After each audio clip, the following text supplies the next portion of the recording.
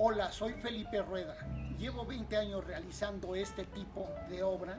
Soy autodidacta y utilizo una técnica mixta a base de materiales como el acero, el aluminio, el plástico, la fibra de carbono y los adhesivos.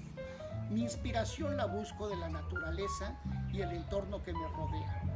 La pandemia la pude canalizar a través de producir una nueva línea como es la obra aquí expuesta y estas otras muestras que les presento.